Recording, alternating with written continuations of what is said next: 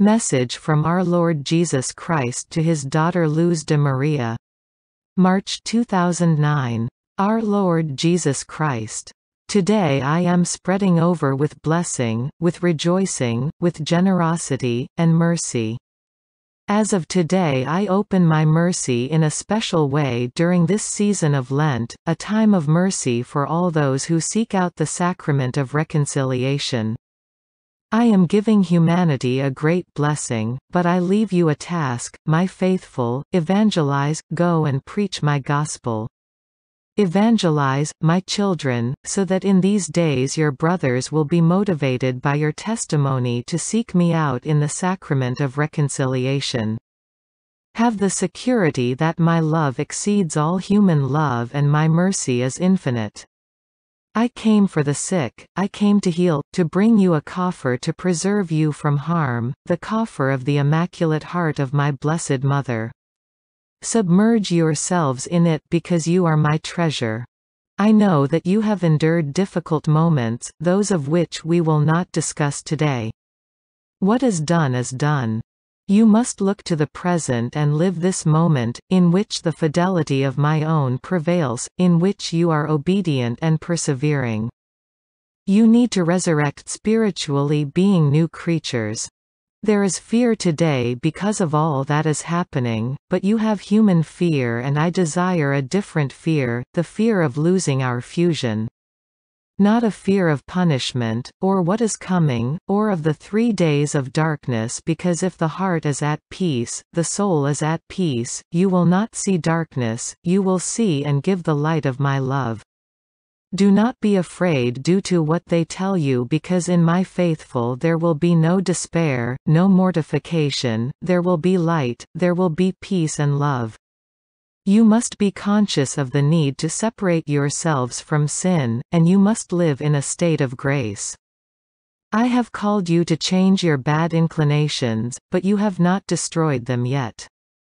And you are repeatedly called by my mother to destroy them for the sake of love, because what you have done until today, is repress the bad inclinations, and the act of repressing distances you from my spirit, because you are not being truthful.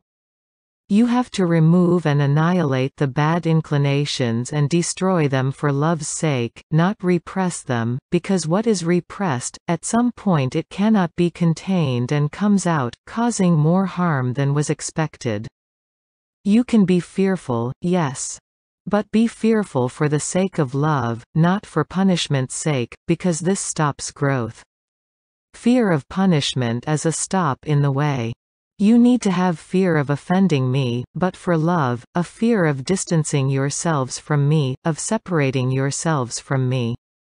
Because there are two loves, mundane love and love for me, and you must choose, you cannot live being lukewarm.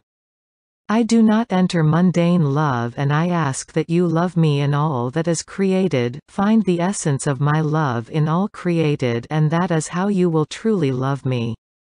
That which you love on earth more than me, will make your wings heavy, and that will prevent you from ascending. Do not cling to the things of the world, but rather ask me for strength to continue because here you are pilgrims, you are passing through. Beloved of mine, seek me with all your heart, meditate on my precepts with hope, seek for me with all your heart, do not consider yourselves to be without blame because you will be fooling yourselves. Children, look with eagerness for the gold of my love. The one who finds love, finds treasure. Do not work hard to acquire gifts, strive in love, and the rest will be given unto you. Children, do not gauge time with human measurement, since a minute can be five years and five years can be one day, do not measure the human way because it will seem interminable to you. Abandon yourself, to my mercy, do not cling to today because today will be a memory tomorrow. Yesterday is a memory today, and today will be a memory tomorrow. Who is the eternal present? So live today correctly, act correctly so that what you do today, will be a blessing for tomorrow and the wrong you commit, confess it immediately, do not wait. Seek me out immediately. Beloved, live each moment with patience because patience carries with it penance and the one who is patient knows how to do penance and the one who knows how to do penance has peace because he or she offers up everything all the good that you do, adds to the treasure each one of you has in my house. Every act of mercy, every act of love, everything is kept in a spiritual bank and you accumulate wealth, you do not see this treasure but no one can take it or steal it from you. I protect you that is why I came first as a humble king, then I demonstrated my majesty on the cross, and the glory of my Father at my resurrection, then I will come as judge. First I came to reunite, and later I will come to separate the wheat from the weeds. Children, I desire that you evangelize, by means of the love towards your fellow man, but why do you stop? For lack of humility. For the tree does not grow before taking root, it does not deepen before taking root. Likewise, you have to deepen in our union and be humble before taking root. The times are not easy, but if you have my love before you and fully trust in my mercy, you will have nothing to fear, my spirit will guide you and as faithful children you will remain in the maternal bosom.